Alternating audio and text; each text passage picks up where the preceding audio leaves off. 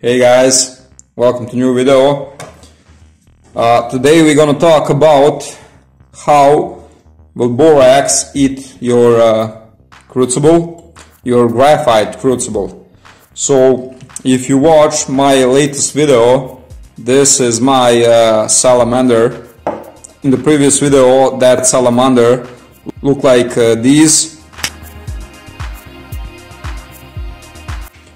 but now look like this. So I melt some copper dust, uh, recovered from uh, old AP solutions, and uh, that dust has some very strange form that is very hard to melt without borax, and uh, it's not like normal copper. But when I use borax uh, a lot, uh, this is what happened with the graphite crucible because borax made some uh, boraxyl acid which go through the crucible and uh, it's uh, destroy your crucible very fast. With this crucible, this is one kilogram salamander, I melt about 30 kilogram of copper and about 20 kilogram uh, aluminum for two days.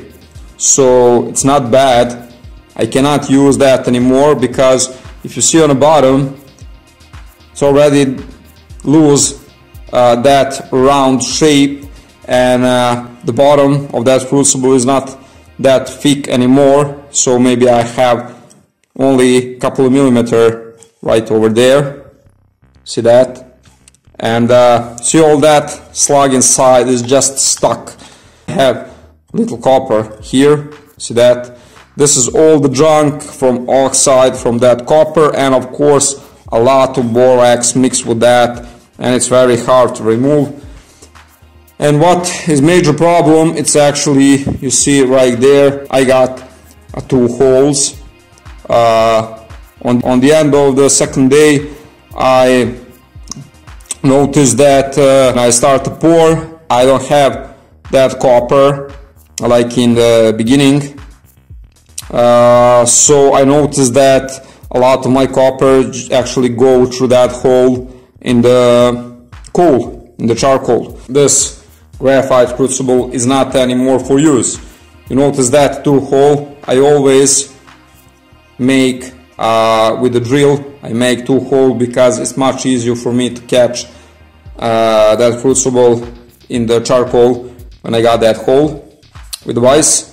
Like I said, a borax uh, will destroy your crucible, uh, not immediately, but after some time, definitely some crucible go to waste.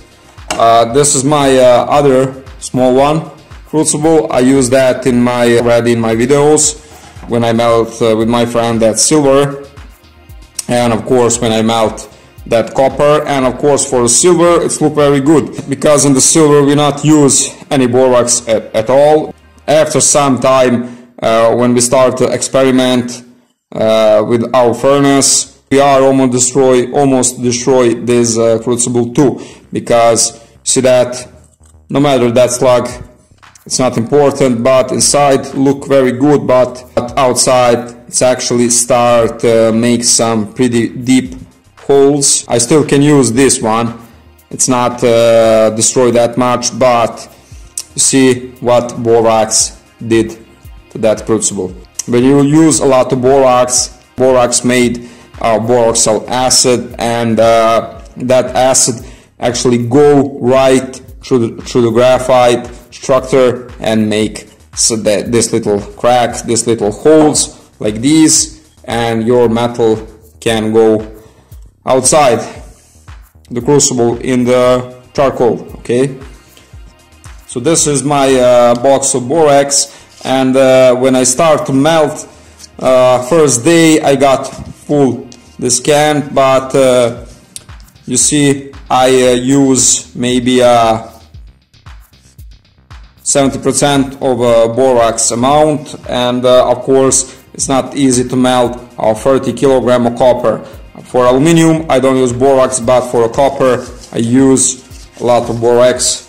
So this borax, it's actually destroy my crucible. So guys this is just a short video about that.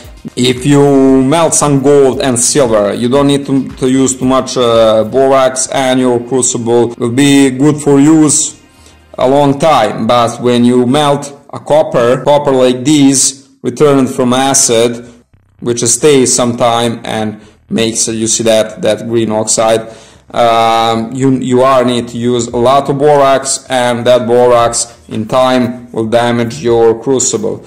So like I said, this crucible, it's make uh, a nice amount of money. So this crucible failure is not uh, too important for me right now because uh, that 30 kilogram of copper I sell in the price of uh, $5 per kilogram. I don't need to remelt that copper bars that ugly copper bars.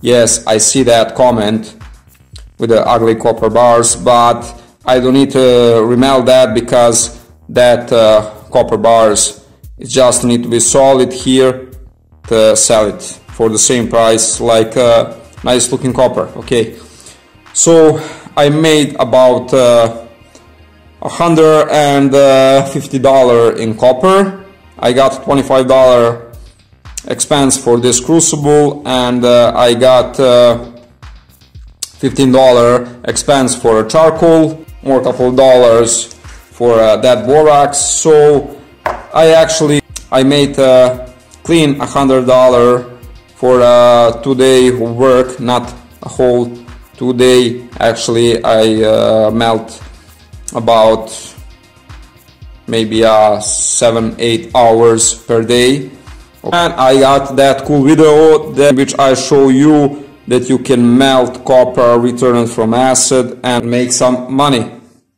Some extra money okay guys? So this is this is just a short video. I will see you soon in the next video. Okay guys? See you around friend Dusan out cheers